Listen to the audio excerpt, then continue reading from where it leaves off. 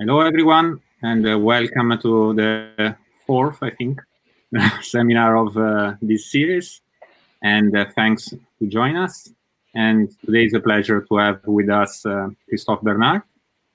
And um, I will introduce him uh, briefly in a few seconds, but I want only to remind you that uh, you can ask questions using the Ask a, a Question button on, on the screen and um, and not the chat. If you have to say something, uh, um, you can write in the chat, but if not, uh, use the ask a question button. And you can also vote for the question that you like. And so the, the most voted question will be the first asked again.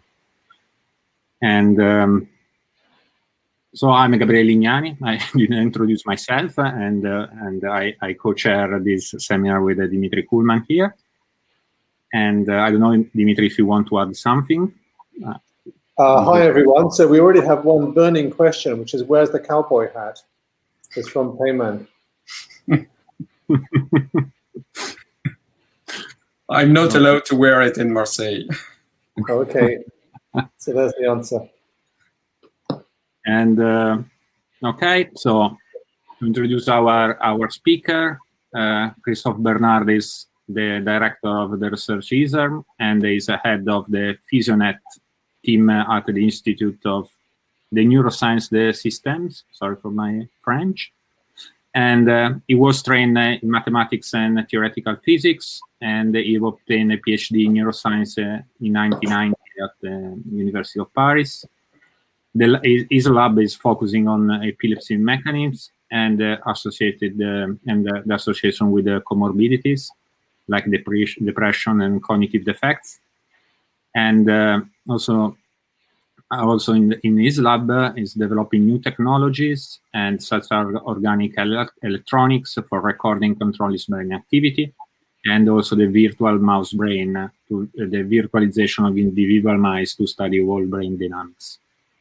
He received the, the Michael, uh, Michael Prize on Epilepsy Research in 2007 and the Felix Prize on Innovation for the Organic Transistor, and uh, is a former reviewing editor of Science and Journal Neuroscience, and probably as everybody knows, is the present uh, editor-in-chief of eNeuro, the open access um, journal of uh, um, the Society for Neuroscience.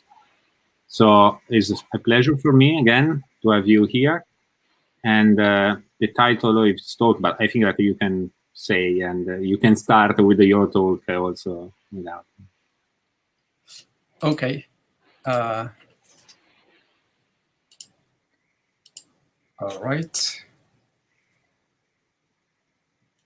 Well, uh, first I would like to thank you uh, for inviting me uh, to this uh, series because when I saw the list of speakers, uh, I really felt uh, honored to be uh, part of them because they are really uh, brilliant speakers uh, on this series, and I am waiting for the news to come. I really enjoyed the past ones, so I think it's going to be a very, very good series of talks on epilepsy. What I would like to talk to you today about is uh, something which is rather new uh, for me, which is the circadian and multidian uh, rhythmicity of epilepsy. And I would like to uh, present you today a kind of um, scientific framework or a hypothesis, you can call it whatever you want, to try to ask questions. I'm not going to answer any question. I'm going to uh, provide you with a framework to ask questions to try to understand the rhythmicity of epilepsy. But before starting, I would like to pay tribute to uh, Paolo Sassone Corsi, who in fact was the uh, inspiration behind the work that I'm going to present. And uh, Paolo passed away uh, six weeks ago. And Paolo is a friend and a superstar uh, in uh, circadian rhythms, in epigenetics and metabolism. Just to give you an idea, he, authored roughly 30 papers in Cell, 25 in Nature, and I can't remember how many in Science. So that was the kind of uh, scientist uh, Paolo was, and uh, I miss him. So first, the outline uh, of uh, this talk, first I will show you that there is strong uh, evidence of circadian rhythmicity in epilepsy. And uh, as a forward, I would like to insist on the fact that circadian is taken in the first sense, which means roughly one day or roughly 24 hours. It's not exactly uh, 24 hours. It's around it. it. Can be 23 or 25. Then I will uh, introduce you to something that I consider truly uh, important. It was a discovery for me that circadian molecular oscillations are found throughout organisms uh, on Earth. And then I will try to bind the two, these two concepts into one, which is the MORE hypothesis, which is molecular oscillations and rhythmicity of epilepsy. And this will serve as a backbone to try to understand the rhythmicity of epilepsy. And I will briefly touch upon the multidian rhythmicity. So multidian is not 24 hours, but it's slower, it's days, uh, uh, uh, rhythms that have a period of several days, and also comorbidities. So let's start with the circadian rhythmicity and epilepsy. Uh, if you look at old treaties, which are several thousand year, years old, you will find reference about the circadian rhythmicity uh, of seizures. So this is a very old observation. Now, one of the first uh, scientific reports uh, is from Langdon Down in the Lancet in 1929. Uh, and what they did was to observe uh, patients living in colony in England, and they just quantified when they had seizures. On this graph, you can see the night and day cycle, and here the distribution of seizures during the night and day cycle for all the patients. And what they found is that during the day, they could observe three peaks where seizure probability was increased, and during the night, two peaks. What they discovered is that uh, most patients had one or two peaks. Different patients could have different peaks, so different uh, periods during which seizure probability was increased. But in any case, that was the first scientific report uh, of the circadian regulation uh, of seizures by observing a larger number of individuals. Know that that was the good time when you could draw histograms with your uh, pen and your hand. Time is gone. So more recently, uh, hard evidence was obtained because to prove that you have circadian rhythmicity, you, do, you need to do long-term recordings, um, EEG recordings, uh, obviously intracranial, it's even better, to prove a circadian rhythmicity of seizures. there are two major studies, uh, one uh, from um, California with the uh, group of Vikram Rao, and that was initiated by Maxim Baud, and the other uh, by the Australian group uh, by Cook and uh, Philippa Karoly, who did a series of brilliant papers on that. But they report basically the same type of findings. So I asked Philippa to provide me some data that was not in the, in the paper. And here are six patients. And on this graph, you see uh, the normalized rate, just like the previous uh, uh, image, of the distribution of uh, seizures in blue. In this patient, during the night and day cycle, in this patient, you can clearly see that there is a circadian distribution of seizures because most seizures in this patient occur in the afternoon and they peak around like uh, 3 p.m. or 4 p.m. And no seizures during the night, here in gray. In this other patient, Seizures occur at the beginning of the night with a high probability, but also after the end uh, of the night here. So one thing that uh, we can conclude already is that, yes, there is circadian rhythmicity of seizures, these blue things here, in different patients, and it varies from uh, one patient to the other. Now, if we look more closely at each uh, patient, and here it's again time of the day. And here, it's the number of days. So you can follow the history for each patient of when seizures, the dots, occur in, uh, in a given patient. So this is the same patient as here, and you can see that the distribution is centered around 2 or 3 p.m. Now, what is also interesting, I told you that this patient has a distribution of seizure that is different. But what you can also notice is that at the beginning of the recording, during like three months, seizures occur in the afternoon, but not in the morning. And then all of a sudden, during the second third of the recording time, it's nearly a year, seizures start to occur now in the morning, which was not a present before. So the other information that can be gained is that the distribution of seizures in time during the night and day cycle can change during one's life. So conclusions of all these studies, and um, Philippa did also uh, a paper showing that uh, on the population of uh, 1,200 patients, there was a very strong circadian rhythmicity in most patients. I think it's 80%.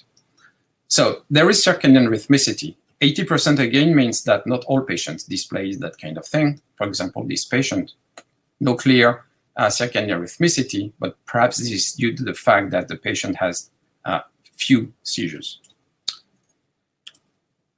So there is a period of increased probability that we can call the seizure rush hour, and that would be around uh, this time. It is patient-specific, as I showed you, and it may change during one's life. Okay, so seizures are one thing that we can observe in patients, but uh, something else that is uh, also interesting is interictal activity. Why? Because seizures do not occur every day but interictal spikes, they do occur every day. Now, if you look at the distribution during the night-day cycle of um, uh, epileptic spikes, in this patient, for example, you see that the peak, the maximum activity of interictal spikes occurs around midnight and nearly nothing during the afternoon. In this patient, for example, there is nothing during the night, but it occurs during the day and it follows nicely. So the black curves, black histogram is for the spikes, nicely follows the seizure. So here, seizures and spikes are in phase. Here, they are totally out of phase. So relying on spikes uh, to predict seizures, for example, may work in some patients, but not others, because clearly these uh, events are totally dissociated in this patient. So interictal spikes also show circadian rhythmicity, but their rush hour can, uh, can be different from the seizure rush hour. And this is found also in other species, like in rodents. In this seminal work from uh, Ed Bertram's group, here they show that patients with mesial temporal epilepsy have increased probability of seizures, that's this curve, during the afternoon.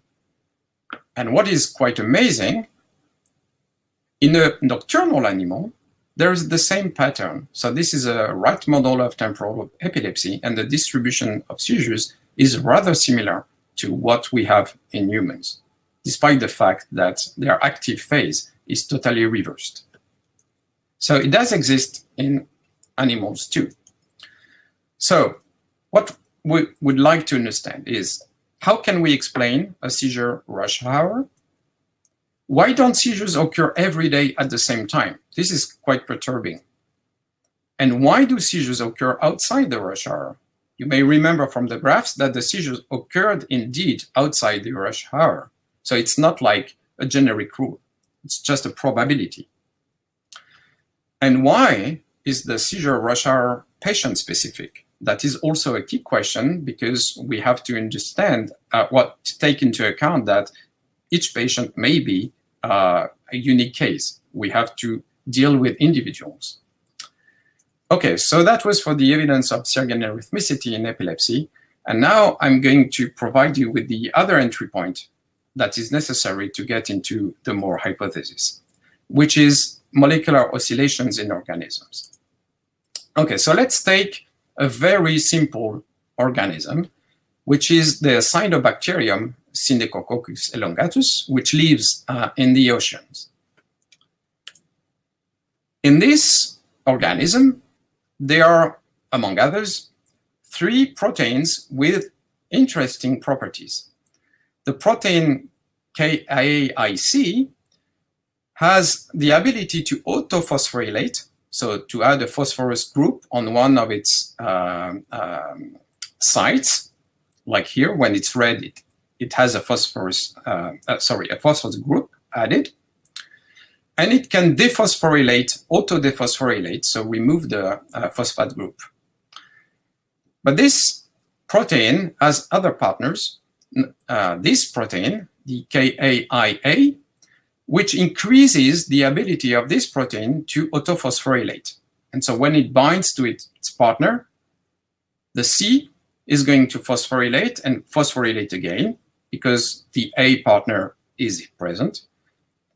And there is a third partner, which is the B partner, which has a negative effect on this, removing it. And as it is removed, then this protein starts to dephosphorylate, losing its phosphate uh, groups to go back to a dephosphorylated state. And again, it can cycle. Okay. So these are for the basic properties of this uh, three protein system. Now, what is truly amazing, you take these three proteins, the A, the B, and the C, you put them into a test tube with energy in the form of ATP, and this is what is happening. So this is the phosphorylated form of this protein. The empty circle is the non-phosphorylated form, and the square indicate the total amount of C protein. These are three days of test tube recordings, and you see that the number of protein is constant. But you can see that the phosphorylation of the protein follows a near circadian rhythm. And the dephosphorylation, which is the reverse, goes in antiphase, of course. So this is, for me, amazing. You just put three proteins and some energy, and spontaneously, they will start to oscillate at a phase, at, sorry, at a period that is the rotation of the Earth. It's not surprising because life evolved in this kind of environment. In a in very simple organism, you find circadian molecular oscillators. This is a built-in mechanism. And possibly it's present in every cell, in every uh, organism uh, on Earth. Why can such a thing happen when you add just three proteins and energy? Well, this is going back to the work of uh, Ilya Prigogine, the Nobel Prize of uh, Chemistry, and he showed that oscillations can emerge in systems which operate far from thermodynamic equilibrium. And the living systems are the perfect example of a system operating far from thermodynamic equilibrium. And to create oscillations, you need, or it is sufficient to have feedback processes. And here the feedback process is provided by the A and B protein on the C. And with this, it's enough to trigger an oscillation. And I really recommend this uh, paper that talks about in biology of the uh, uh, how oscillations can emerge uh, from a system. Of course, uh, proteins have a half-life which is rather limited from minutes to hours or days. So the system, uh, circadian system cannot rely only on protein cycling. In fact, in uh, the in organs, in complex or multicellular organisms or organs and, and the brain in particular, uh, it uh, goes to the gene level, so to the transcript level. And this has been uh, identified clearly in the suprachiasmatic nucleus, the structure of the brain, uh, which controls circadian rhythmicity. I don't want to detail the mechanism, but the core mechanism is the same. It's feedback loop.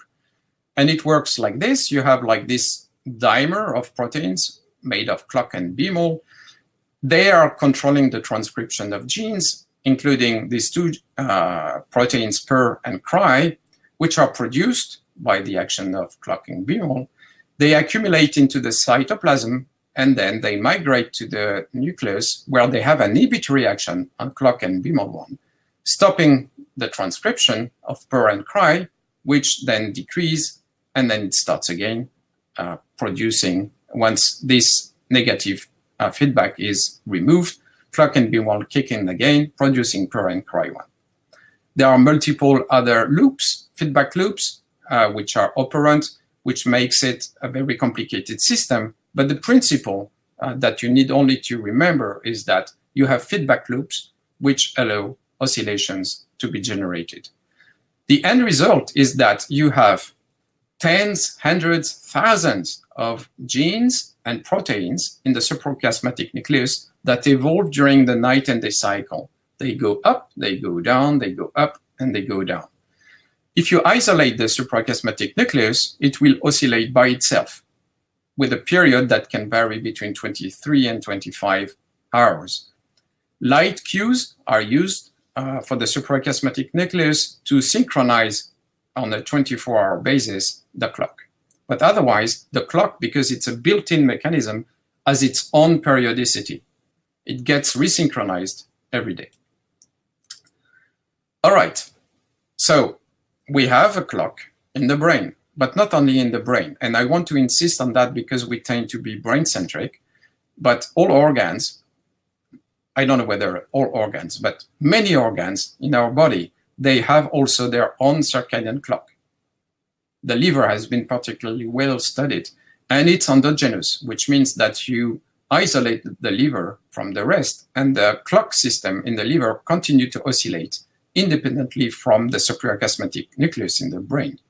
Although this one exerts tight control the clock of the liver, but by itself it can oscillate with the same kind of mechanism with transcription and translation loops.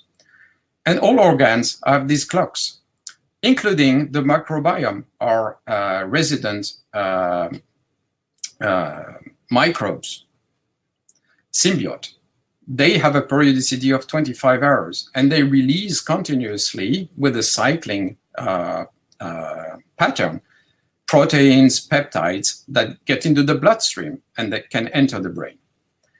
So the bottom line is that in all our organs, we have circadian and clock that change the state of this, their own system. And because they send like hormones or proteins or electric signal, they can communicate with each other and thus influence the rhythmicity and the oscillation that are present in the other organs. So it's not only the brain that has a top-down effect controlling the oscillations of the various organs. We don't know that yet, but the organs can exert also an influence on the circadian rhythm in the brain. And the best example is the synchronization of metronomes. So you remember that there are clocks which are independent in each of the organs. So if they oscillate independently from each other, this is what happens. Now, if you link them weakly, if you couple them because they exchange proteins or electric signals, this is what's going to happen. After some time, the oscillators are going to be synchronized. We don't know whether this is really happening because this not, this hasn't been studied yet because we don't know which are the signals uh, which are exchanged between the different organs, but it's likely that such a scheme may happen. Bottom line is that we have a body of coupled oscillators, and this is what is happening when you couple them, they get synchronized. And this may explain the rhythmicity that we see during the night and day cycle for everything. Like the lowest body temperature is early in the morning, and the highest body is late in the afternoon. And you can have the same kind of uh, circadian rhythmicity for cognitive uh, procedures uh, efficacy uh, or muscle efficacy. This circadian uh, rhythmicity of body functions is the result of the oscillations that occur everywhere in the body, not only the brain. I insist on that because we don't want to think that it's all coming from the brain. And it's particularly important for seizures even if they come from here, there may be a strong influence from other organs, but we don't know that. So the first conclusion is that there are most um, molecular oscillators uh, may be in all organisms on Earth. They are built in. And there are uh, coupled oscillators throughout the body in complex organisms like humans. But was, what is critical to uh, remember is that the molecular landscape changes from one moment to the next because proteins go up and down. So the structure, the neuronal network structure is changing from one hour to the next because proteins get expressed or not expressed anymore. And this is obviously what we think that it's related to the needs of the body or the actions that it takes. And what is important, I didn't insist on that, there is a bidirectional relationship between diseases with any organ and altered oscillations. If you have a dysregulation of the circadian rhythm in one organ, that will produce a disease. And conversely, a disease in one organ result in altered circadian oscillations.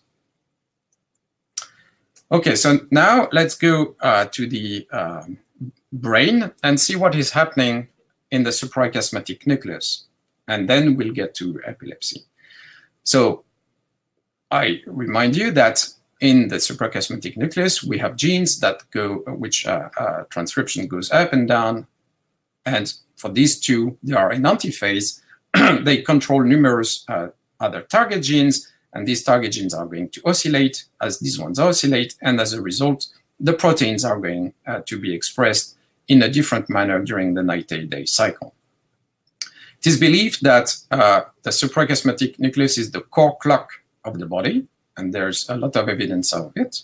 But in other brain regions, they are what are called secondary or ancillary clocks, which are controlled by the suprachiasmatic nucleus. But what we know is that in each of these, uh, in all the regions, you have these clock genes which are oscillating. Now, whether the neuronal structure of the, the molecular architecture of these uh, neuronal regions oscillate, this was not known. Only the suprachiasmatic nucleus had been investigated. And this is when I met uh, Paolo Sassone Corsi, and I told, when he showed that there were clock genes everywhere, I told him, but then these cortical regions should oscillate as well and change their organization during the night cycle. He said, yeah, maybe. And nobody has uh, uh, tested it. So we decided to do it, and that's something that started uh, now uh, nine years, uh, eight years ago. But we already know that hippocampal processes, so not at the molecular level, but hippocampal processes do oscillate. We know since 1977 that circadian rhythms uh, uh, of synaptic excitability have been demonstrated. So the uh, synapse excitability also changes during the night and day cycle. LTP is changing during the night and day cycle. It's a very old story as well.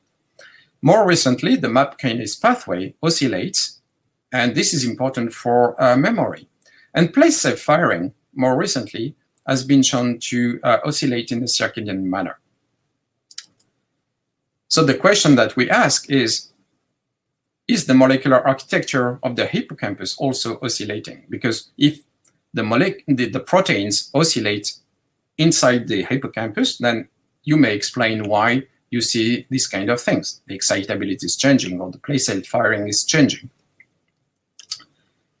So I want to acknowledge uh, those uh, who did the work. So the paper finally got accepted after many, many, many, many years of fight. Uh, it will be published in October. And um, I want to acknowledge um, Antoine and Anton, who did all the in vivo and in vitro uh, work and generated all the animals uh, in the lab. Uh, the first, uh, the very first tests were, were done in Bonn uh, by Albert Becker and Susanne Schoch and their team. That gave us the proof of concept. Um, Conrad and Nick, Conrad from uh, uh, Katarzyna Lukasiuk uh, lab and uh, Nick from uh, Pierre Baldi with Paolo Sassone Corsi did all the transcriptomic analysis that uh, you will see. And Sonia and Wolfgang did very tough in vivo experiment that I will show you also later. And Maxim helped us for the metabolic part. So what we did was to collect uh, ventral hippocampi. Why the ventral hippocampus? Because this is the uh, epileptogenic zone uh, in the model that we are using.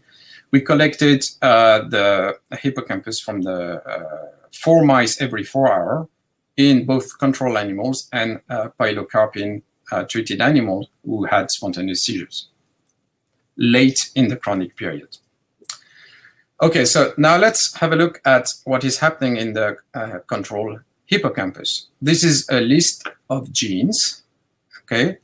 And here is the p-value indicating that the transcript is oscillating uh, with a high probability. and this is in the suprachiasmatic nucleus, the cerebellum, the brainstem, and the hypothalamus. In green are highlighted uh, classic clock genes, and you can see that these genes oscillate in the hippocampus, but also in these other brain regions. Nothing is surprising because this is like a ubiquitous uh, mechanism of clock genes uh, oscillating in uh, different brain regions. so you can see that there are many transcripts which are oscillating uh, in the hippocampus, and we stopped here. The list is uh, much longer. But what you can see, for example, here, is that these two genes, which are strongly oscillating in the control hippocampus, do not oscillate at all in the suprachiasmatic nucleus, the cerebellum, the brainstem, and the, uh, and the hypothalamus, which means that the oscillation of uh, transcripts is brain region specific. What we found is that 10% of the transcripts are oscillating in the control ventral hippocampus, as compared to 90% in the suprachiasmatic nucleus and 6% in the forebrain. So this kind of study has many caveats, of course, because we mix up every cell type found in the ventral hippocampus, so including glial cell, erythrocytes, uh, pericytes, whatever. So there is a lot of noise generated, and I think that the 10% uh, oscillation uh, value is a serious underestimate of the number of transcripts uh, that are oscillating. We confirmed it with RT-PCR. We did a proteomic uh, study, and we found the same percentage of 10% of proteins oscillating in the control uh, hippocampus. So I think that this is also a key aspect to consider when you do brain modeling. If you do brain modeling and you model a network with a fixed molecular architecture, okay, it will model maybe so something that happens at 2.35 a.m. But if you don't take into account the fact that the molecular architecture is uh, changing from one hour to the next, maybe the process that you are uh, trying to study, for example, a seizure, which may occur in the afternoon, should be modeled in the context of the organization of this structure at, uh, in the afternoon and not in the morning. So I think this is a key uh, also to, uh, it, it's making our life more complicated, but this is very important to consider. So I told you that uh, this is an, uh, we think that this is an underestimate. And while this um, uh, paper was being stuck by reviewers, uh, we got scooped, uh, at least for the control study, by these two beautiful science papers, but they did much better work than we did. Um, and they found using now the whole forebrain, so they mix here every brain region, but they collected only uh, the uh, synaptosomes to investigate the transcriptome, the proteome, and the phosphorylome of uh, the synaptosomes. So again, they mixed up uh, all synapses, but what they found is that 70% of the transcriptome is oscillating. This is huge. And again, this is another estimate because they mix all brain regions, and I showed you that uh, the oscillations are brain region dependent, and they mix up different cell types which should add a lot of noise. So what I think is that maybe up to 90% of the proteins and the transcripts are oscillating in a given brain region uh, uh, during the circadian rhythm, the, during the night and day cycle. Okay, so now what is happening in epilepsy? So here is the number of genes, uh, the transcripts, sorry, that are oscillating in a circadian manner in the control animals, so roughly 1200. Now, in epilepsy, we have 30% more genes, uh, transcripts which are oscillating. And what is remarkable is most of them were not oscillating in the control condition. In fact, a small number compared to the uh, overall number is oscillating in both control and epilepsy conditions. And what we found is that many of these genes, which are still oscillating in both control and epileptic animals, they are in antiphase. So with what we are dealing in epilepsy is with a total different molecular system. The molecular organization in epilepsy is totally different and it is cycling in a totally different manner as compared to the control. And I will come back uh, to this. So conclusions here so far is that the molecular architect architecture of the hippocampus is cycling in control animals, okay? And the cycling rules are different in the experimental temporal epilepsy, at least in this model that we have been using. And that raises some problems for data interpretation. I will show you one example. And I will show you some kind of examples of functional consequences of these differences between control and epilepsy. Now, data interpretation. We all love um, GABAergic neurotransmission in epilepsy because we think that uh, there's something wrong with it and that explains uh, seizures. And there are many papers looking at the expression level of some subunits. Okay, so let's take the uh, alpha-3 subunit of the GABA-A receptor. So this is uh, time of the day when we collected the tissue, and this is the expression pattern of the uh, alpha-3 subunit during the night and day cycle in control animals and in epileptic animals. You can see right away that these transcripts are oscillating in both conditions, but the pattern is quite different. Now, if you do an experiment at 11 a.m., you sacrifice the animal, you collect the ventral hippocampus, you do RT-PCR, and you measure the transcript level or the protein level. You will see that, and it's significant, that there is an upregulation of the alpha-3 subunit. But if you wait and you do the experiment in the afternoon, you have a downregulation. So what can you conclude? Cannot conclude anything. It all depends upon the time of the day when you do the experiment. Sometimes during the day it's upregulated, sometimes it is downregulated. So I think maybe we should consider reinterpreting many data uh, obtained with RT-PCR or Western blot because clearly some result may be time of the day dependent. And it's impossible to conclude in a general fashion that this subunit is down or upregulated because it depends on when you do the experiment. Okay, so this is for the caveats. Now, what, the, what about functional consequences? Sonia in uh, uh, Wolfgang's lab did uh, heroic experiments injecting PTZ to trigger seizures in control and uh, epileptic mice. And I just want to, you to look at this result. This is the uh, amount of PTZ that you need to inject to trigger a seizure in the animal. At 11.30 a.m., the control animals are more susceptible. You need less drug to inject to trigger a seizure. The epileptic animals are more resistant. But at 11.30 p.m. now, it's reversed. The control animals are more resistant and the pilo animal, the epileptic animals, are more sensitive. This shows you that despite the fact that PTZ is going to target the same uh, proteins, the same systems, they are going to react totally differently in control and epilepsy. This shows you in a uh, global way that the two systems are really different. And it's very difficult to compare them because it depends again upon the time of the day. And this is like a macroscopic measurement of what is happening.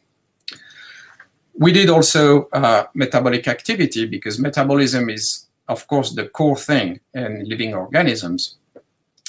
And we looked at um, oxidative phosphorylation and glycolysis in control slices obtained uh, in the morning or in the afternoon. That is Zeitgeber. Uh, that indicates how many hours after you switch on the light in the animal facility. In control and epileptic animals, control and epilepsy at different times. So in controls in the ventral hippocampus, there is nearly no difference between oxidative phosphorylation and glycolysis uh, at the two time points. Now, in epilepsy, you can clearly see that there is hypometabolism as compared to control, but only in the morning. In the afternoon, the metabolic activity is quite uh, close to the control situation. But here in epilepsy, the system relies on oxidative phosphorylation in the morning and strongly on glycolysis in the afternoon.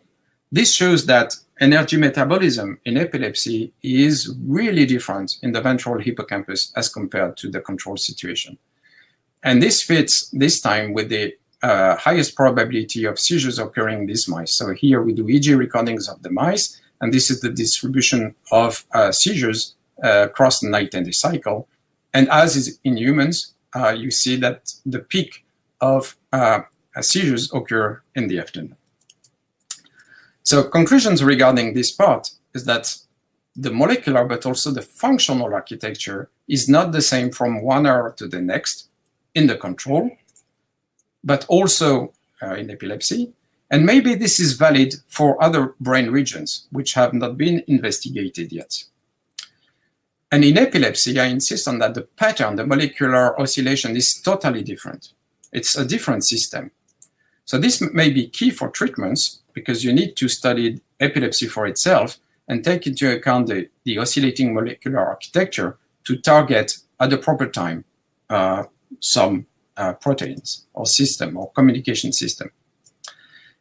And I would like to ask this question, is it valid to compare epilepsy and control animals? If in epilepsy we are dealing with a different system, maybe it should be, it should be studied for itself. And this reprogramming, if you want to call it that way, of the second uh, molecular architecture of the hippocampus in epilepsy may also occur in other disorders, in depression, in uh, schizophrenia, in autism. This has been demonstrated in peripheral organs. Diseases are linked to a reprogramming of the clock. So maybe this also happens for other disorders in uh, different brain regions. Okay, so now let's try to put that together, these molecular oscillations and the circadian rhythmicity into the MORE hypothesis. Well, that's very simple. I mean, there's nothing really brilliant about it. It's just I did one and one. So what we found in the hippocampus is the following picture. This is an invented scheme, right? Uh, it's, it's not the reality. Let's say that in the morning, in this pyramidal cell, at this synapse, there are four receptors, okay? In the glial cell, which is here, energy production does not rely on oxidative phosphorylation because the amount of ATP produced by mitochondria is very low. In the nucleus of the pyramidal cell, there is a lot of transcription of an FKBP, okay? And if you look at what the network is doing, it's firing at a low frequency. Now, in the afternoon, because the molecular organization is totally different, not only in the brain, but also in other brain, uh, sorry, in the hippocampus, but in other brain regions and other organs, this is the picture that you get because the molecular landscape has changed. Now you have only two receptors here. Now the glial cell is making a lot of ATP with the oxidative phosphorylation. And FKBP transcription occurs at a very low rate. And holding below, through the BBB, there are some peptides coming from the gut, which are going to influence the activity of this hippocampal network. And the result of all this is that then the cells are firing at a higher frequency in the afternoon. So this is basically the scheme, which is very simple. Maybe what we see is that the network activity is oscillating during the night and day cycle. This is night, this is day. And here is the seizure threshold. And periodically, we get close to the seizure threshold. But again, seizures do not occur every day at the same time. You need something else to happen. And when this something else to happen happens, like stress or lack of sleep, then you cross the threshold. But when the, the probability is high, when the system is close to the threshold. And this is uh, what I call the uh, MORE hypothesis, the molecular association to explain the rhythmicity of epilepsy. it's just based on the simple observation that the molecular architecture of neuronal networks is oscillating. Of course, this gives you a wrong idea that the seizure threshold doesn't change. Obviously, the seizure threshold is likely to change also in the circadian manner. But the idea is that networks periodically move close to the seizure threshold, and that may explain the seizure rush hour.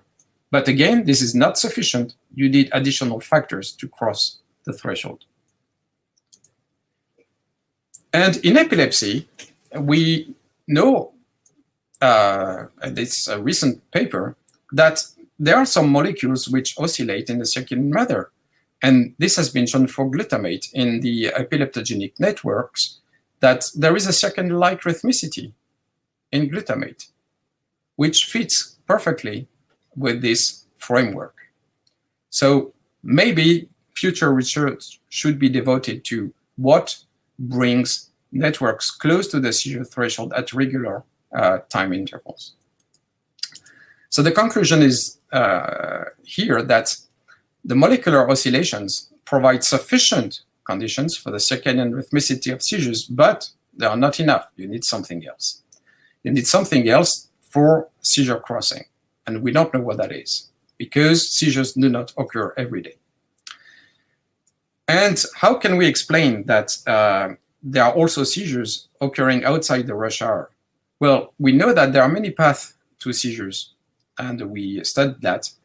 And maybe certain paths are facilitated at a given time point during the circadian, the, during the night and day cycle, and other paths are facilitated during different times, which offers the possibility to have different seizure rush hours. In addition, if you receive a strong enough input, then the system can drive, the, system can be driven to seizure threshold no matter what, independent from uh, the change in the molecular architecture, like a highly stressful event, for example. And brain region may oscillate differently within and across patients. And that could explain inter and intra-individual variability. I showed you that the molecular architecture uh, which is cycling, is different in the cerebellum and the hippocampus. So if the cerebellum would uh, could generate uh, seizures, then you would have a different um, seizure rush hour in patients for whom the seizure would originate from the cerebellum as compared to those uh, originating from the cerebellum because the rules are different in different brain regions. And finally, yes, uh, I have uh, just two slides to show you. Uh, I want to just briefly touch upon the multidian rhythmicity because this is related to that. I showed you that seizures have uh, circadian regulation, but recently, um, with long-term recordings, thanks to the uh, NeuroPace trial and the NeuroVista trial, so in again in Australia and in California, we could, well, they could measure uh, interictal spikes and seizure during years, even decades in some patients. So here it's in a human recording, and in gray it's the uh, interictal activity that has clear circadian uh, component, and that's every day. But you can see that there is an envelope and the peak of interictal activity every day increases and then decreases and then increases again and then decreases again. And this makes a slow rhythmic activity that can be anything between 7 and 40 days in patients, recording during a long time. So if you draw this slow curve, this multidian rhythm, what they have found is that seizures mostly occur on the rising phase of this slow oscillation. And the same results were found in dogs. And with Maxime, we found the same thing in rats in two experimental models of uh, epilepsy. The good thing in uh, rats is that the rhythmicity is between five and seven days, which makes it uh, easy uh, to uh, study. But you need at least six weeks of recordings. And again, this, the interictal activity has a slow component and seizures occur on the rising phase of this slow rhythm. So this adds another uh, degree of complexity because we have to take into account not only the circadian rhythm, but also the multidian rhythm. And we have no idea where this is coming from. There are some anecdotal uh, papers that you cannot find on PubMed, but you can find them on uh, ResearchGate, which describe that cortisol, saliva cortisol, has a multidian rhythmicity uh, in humans. So this is a kind of evidence, although this should be reproduced, uh, that there are slow rhythms in humans, at least at the molecular level. So this is going to make our life more complicated because uh, the cortisol experiment was done on uh, healthy humans. So it looks like we have, in addition to the circadian rhythm, slower rhythms in our body that change the properties of the system. But this fits well in the MORE hypothesis. Now imagine this, you live uh, close to the ocean and every day you have the tide, two tides. At low tide, you are uh, the, the sea is far uh, from the street. And let's say that a seizure is that is when your house, which is close to the street, gets flooded. But at high tide, which occurs in a, a regular manner, like let's say again circadian rhythm, water rises but remains far from the street. Now, as you get close to the equinox tide, the water is going to rise and rise and rise and rise, just like the multidian rhythm. And you may have a seizure and your house gets flooded, but you need another condition. And the condition is like a strong wind coming from the sea or uh, a full moon or a storm or anything. Because usually at the equinox, if the weather is calm, nothing happens. So you need additional mechanisms for your house to get flooded. And to explain why house, uh, seizures occurs outside the rush hour, well, your house can get flooded if there is a hurricane, and even if it's low tide, you'll get flooded. So the MORE hypothesis also takes into account uh, this kind of property.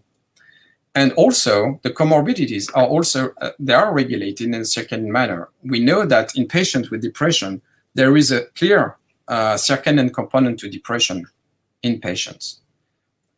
We don't know in epilepsy whether cognitive deficits and depression are regulated in a certain manner, but that could be also a possibility because these emerge from the molecular uh, architecture of the network. I will skip this. Jump to the final conclusion that the second rhythmicity of seizures and interictal spike that I showed you is grounded, in fact, in the basic properties of life on Earth with these built-in molecular oscillators. And the oscillations that are present in the entire body for us and mammals, they may play a role because everything is coupled to everything. So when we study circadian rhythms in epilepsy or multidian, we don't want to forget what is happening in the periphery because what we are looking for to explain the rhythmicity may lie there and not in the brain. So these molecular oscillations can give us cues to understand how to control seizure probability, because if you know that the seizure probability increases, then maybe you only have to act during that time. And also you can time drug treatments. And finally, maybe we should revise the way we study uh, neurological disorders because we always compare a control tissue with a tissue obtained in a disease model.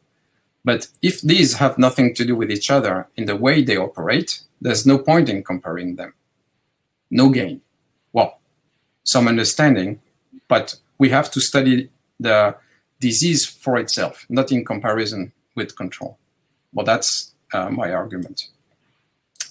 Now you'll end up with this very important message. Thank you.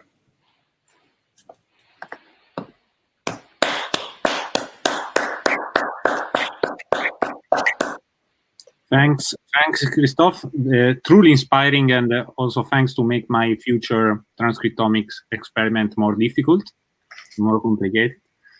And uh, if if uh, someone wants to ask wants to ask any questions, please use the Ask a Question button.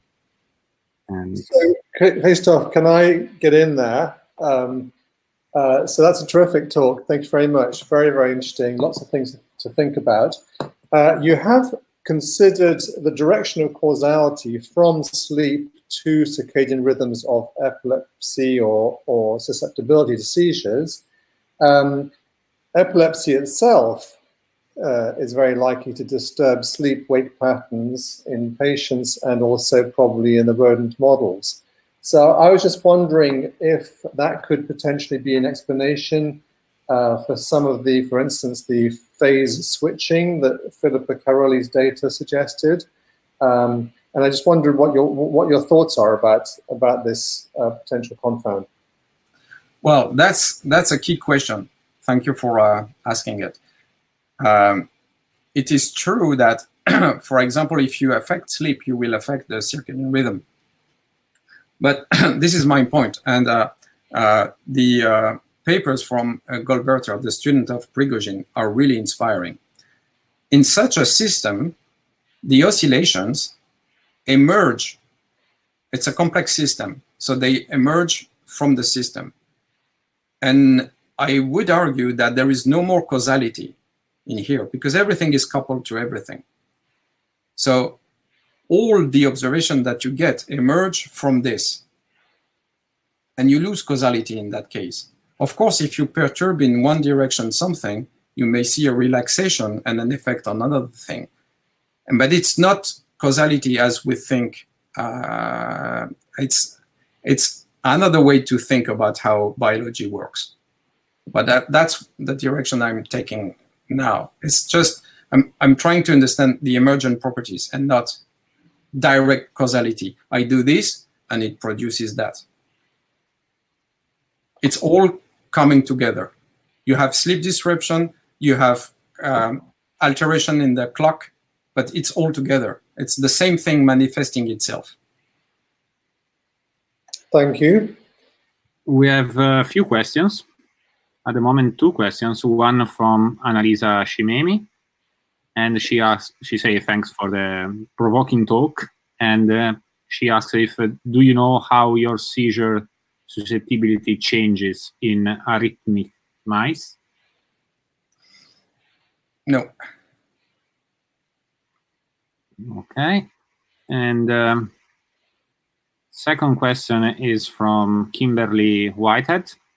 And she asks, uh, have, have any of these findings been looked at uh, in uh, pediatric populations, either humans or animal models? do they show the same uh, circadian and uh, multidian patterns? So this is a fascinating question. So I'm not aware of any uh, human data in the pediat pediatric population. Um, regarding, so there are multiple papers on the, the, the development of the suprachiasmatic nucleus and the development of circadian rhythms. so there is a developmental profile. But this is um, uh, now open space. I mean, uh, you can clearly see uh, that this is a new field of research. These two science papers uh, that uh, which were published last year, they're opening a new field of research. And it's good because uh, it allows young scientists to jump into that because there is everything to discover again when you have to take into account uh, the time of the day based on the molecular architecture of your system, which is different. For example, how can you explain the hippocampus that you learn better in the afternoon than in the morning? Why? What are the molecular determinants? Same thing for epilepsy. it took us a huge amount of uh, years to publish this thing that is not published yet. It's uh, in press. So, of course, this is just the beginning. But now, uh, people should investigate what is happening in uh, uh, developmental epilepsy, in genetic models, uh, in the aging population, in association with Alzheimer's disease. Everything, the, the field is all open. And it's good. Makes our life more complicated, but it's it's amazing. When I found out this, you put three molecules in a test tube and they start to oscillate at 24 hours, I said, wow, life is beautiful. life on Earth is just marvelous. And imagine on Mars, it's it's not the same periodicity. So life would be organized differently with different molecular oscillators if there are if there is life there. Very fascinating. Thanks, uh, Christophe. We have another two questions for now. One from Julie Lee that asks, uh, would this finding also suggest that certain populations are more vulnerable are more vulnerable to seizures than others, like night shift workers?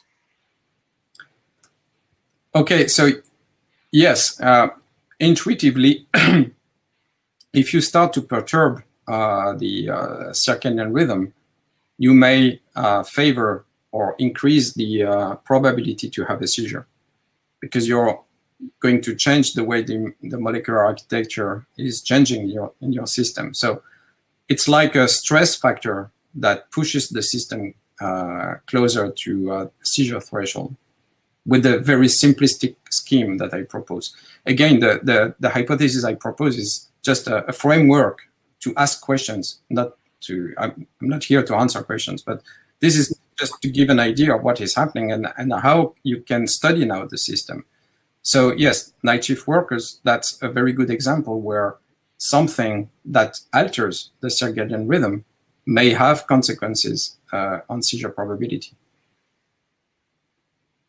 Okay, thanks. And we have a, a question from uh, Felix Chan that asks uh, if you think that the molecular reprogramming of the functional transcript, like metabolism or GABAergic transmission, are driven by the change in oscillation of molecular circadian oscillators after the epileptic insult? Oh, so if the question is if there is a reprogramming just after uh, the status epilepticus? Yes, after the epileptic insult, yeah. I think that is means in uh, after status epilepticus, I think.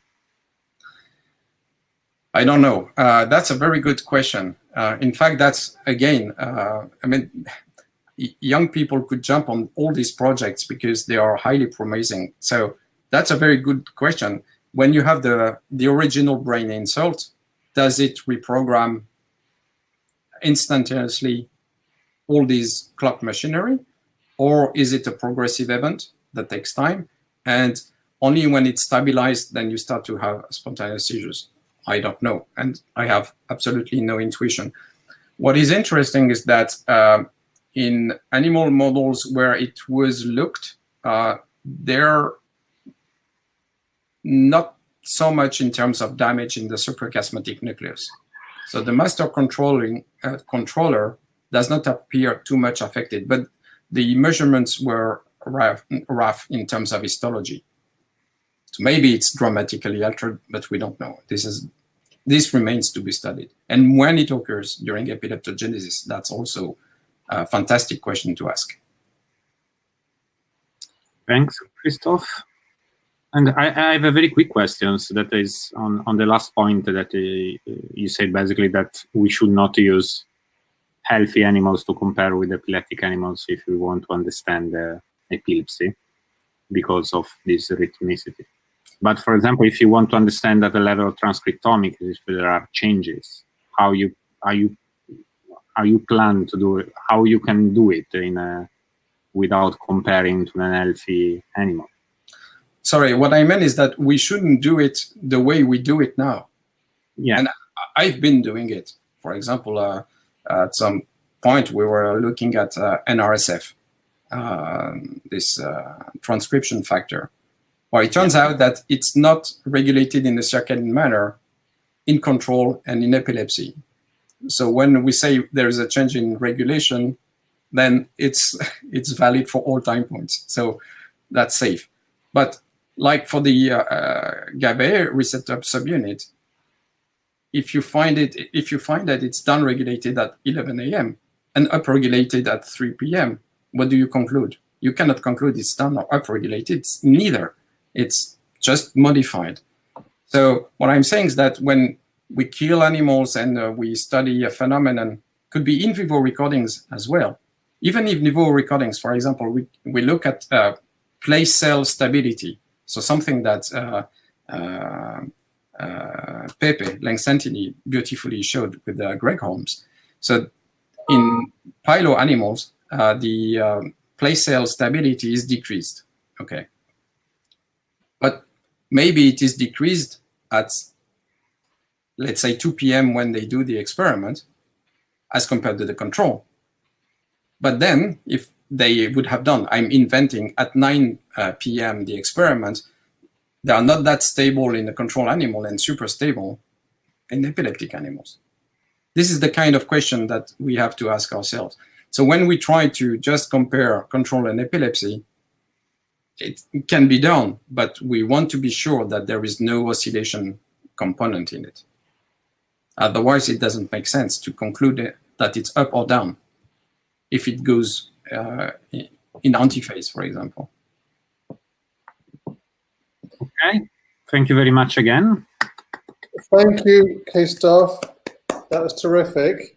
And um, so just to remind people, this is happening twice a month, but because it happens on the first and third Wednesdays of each month, uh, it falls on the 7th of October next time, which is actually in three weeks' time, when Jeff Noebels will be giving a talk entitled Sparks, Flames and Inferno, Epileptogenesis in the Glioblastoma Environment.